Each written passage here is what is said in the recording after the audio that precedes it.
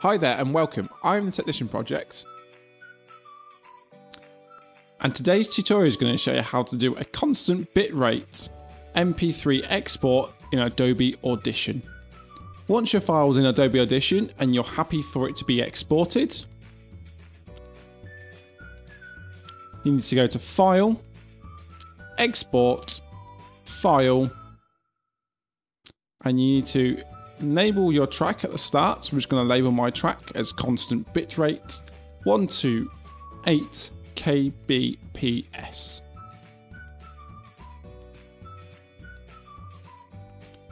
I'm going to change the destination saving point below to my desktop and I'm going to change it from a WAV to an MP3.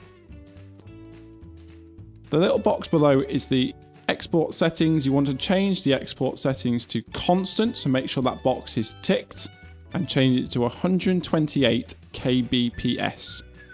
So not variable, constant. And press OK, press OK and press yes because it will duplicate a copy of your file and not ruin the original file.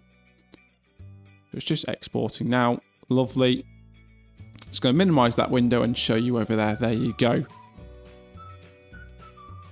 If you enjoyed the video today, please leave a like rating and subscribe for more. Thank you for watching and see you next time.